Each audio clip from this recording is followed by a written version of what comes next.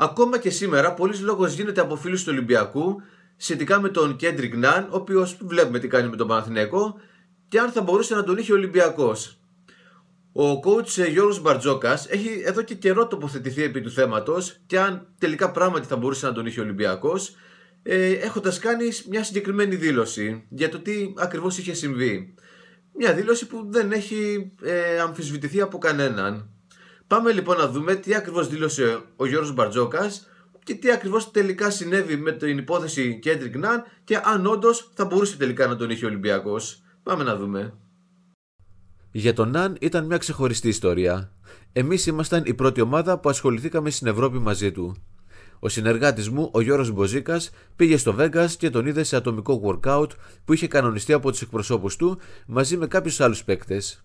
Αν δεν κάνω λάθος, του είχε μιλήσει κιόλας. Ήμασταν σε συνεννόηση με τους εκπροσώπους του. Ήταν ένας παίκτης που δεν είχε βγει ποτέ από την Αμερική και γενικά ήθελε να παραμείνει σε αυτό το χώρο τότε. Αλλά μας είχαν απαντήσει ότι αν πραγματικά βγει στην Ευρώπη, η επιλογή του θα ήταν Ολυμπιακός. Ήταν ξεκάθαρο. Στη συνέχεια, μέσα στην εξέλιξη της χρονιάς, ξανακάναμε πρόταση. Όταν οι εκπρόσωποι του μας είπαν ότι αποφάσισε τελικά να παίξει στην Ευρώπη, ξανακάναμε πρόταση μαζί με άλλες 3-4 ομάδες.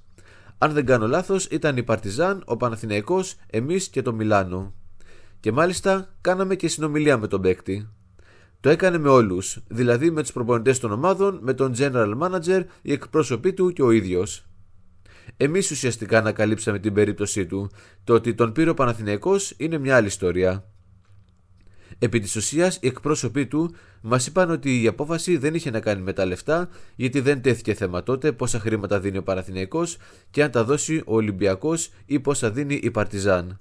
Η απόφασή του έχει να κάνει με το γεγονός ότι ο Σάνι Μπετσίροβιτς ως Σλοβένος είναι φίλος με τον Ντράγκιτς, ο οποίος ήταν συμπαίκτης του Ναν στο Μαϊάμι που έπαιζε ο Ναν και κάναμε μαζί workout την περίοδο. Του είπε ξεκάθαρα να πάει στον Παναθηναϊκό.